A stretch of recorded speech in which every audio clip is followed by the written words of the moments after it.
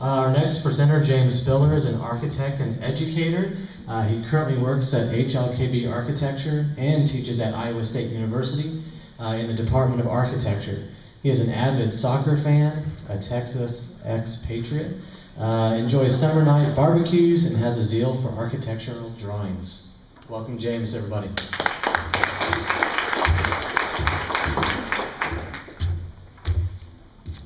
How you doing? Uh, all right, uh, so everybody, this is not architecture, so to speak, in the normal sense, but what I want to talk about is hand-drawn visions.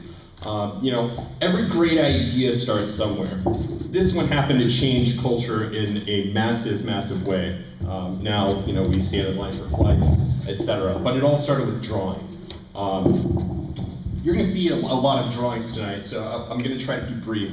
Uh, this is, uh, Michelangelo started with templates. He was a stonemason and Renaissance man, painter, and he took these templates, as you see in the top left, and used them to create cornices.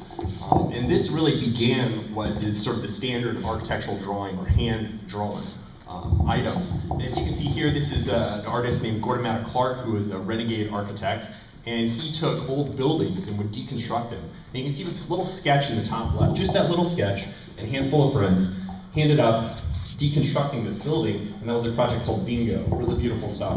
Um, drawing in general is used to achieve things we can't normally do. Um, here we're looking at a project by Robin Rhode, he's an artist, and he finally figured out a way to dunk a basketball. and it's like, all right, I can finally do it. So it's about creating ways to envision uh, life, about ways to rethink the possible. Uh, this is a, a, a, traditional artist, named name is Gego. Uh, she, she was in Venice, a Venezuelan artist.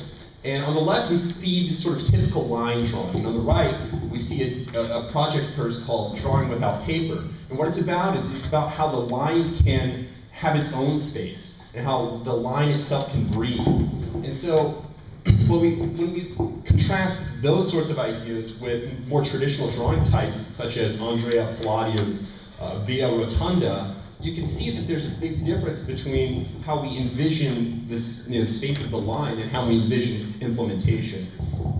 Uh, for, for instance, here, instead of it being a descriptive drawing type, we understand that drawing becomes a way of commentary. We understand that uh, this is a typical chapel drawn, you know, uh, sorry, built in uh, Spain, and we start to understand a difference between uh, the parishioner and the shadow that's behind the clergy. Uh, right? There's a dialogue that takes place. And so there are these ways of drawing visions that we can't express with language necessarily. Um, here we're looking at Piranesi's prisons. He did a whole set of drawings about prisons, and these were not real prisons. We had steps to nothing, and at the time when this is drawn in the 1700s, this was completely radical. Where are the balustrades? How do we keep life safe? So these become modes of political commentary. Uh, in this case, in 1960, Buckminster Fuller, who patented uh, the geodesic dome, uh, proposed the geodesic dome over Manhattan. This is a very serious proposition. He was arguing that this becomes a way of, of managing climate change. We can, in fact, keep more temperature inside. And so here we're looking at a drawing by Mies van der Rohe. This is the Seagram's building in New York. Uh, I'm sure many of you have seen lots of buildings like these. There's one in Des Moines that's similar. And on the left, we saw the first drawing that ever challenged a glass tower. That was the very first one right there. It's like, can we have the building made completely of glass? Yes, we can. And here we're looking at, uh, this is a Russian group, and in the 1980s, they were strictly mandated by the government to make uh, drawings of utilitarian purpose. And so these guys sort of became, they became called paper architects. And this was a very derogatory term at the time. But what they're doing is they were using pretty much uh, drawing, architectural drawing, to say that, that you, fighting utilitarian drawing or, or fighting a regime will, will make people sad. it will ruin people. Um, in another project, a very different version of paper architecture, we can understand uh, architecture as a way by which uh, to make commentary about society. In this case, we're looking at a project by Diller Scofidio, which uh, is talking about how architects simply make picture windows. And so in this case, they've, they've made a house for a Japanese uh, client uh, where you drive through the window of your car, you pull up, you go through the door, and you walk up until you can finally see out the picture frame at the scene. And here we're looking at a, a, a drawing, a series of paintings by Zaha Hadid, who was told when she was in graduate school, Um, she, she showed a professor a drawing, and the professor very wisely said, "Come back when you learn how to draw." So, you know, she came back, and, and now she's a world famous architect. She's pretty much the leading female architect. Um, and it all started with these sort of wild paintings. And here you can see she's using different variations of, of the hand, in this case, a, a paper bas relief, to explore ideas and to explore how does you start to articulate space? How do we articulate the world around us? Um, in, a, in, a, slightly different mode, um, this is a project by Lebbeus Woods, who uh, is, is, a great architect visionary. He, he finds ways of engaging things that cannot possibly exist. Um, and in this case, he, he was studying Sarajevo.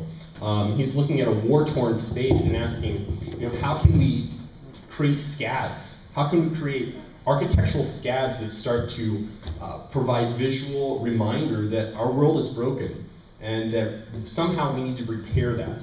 Um, so he uses the medical terms of scabs and scars to remind ourselves that we cause harm to each other and that somehow we can start to repair those damages. And it's not necessarily about programmatic, it's not about square footage, right? It's not about making sure that my money as the client is going towards building a better building. It's about making sure that our, our world that we inhabit is engaging our social problems, our physical problems, and the things that we do to each other to tear each other down.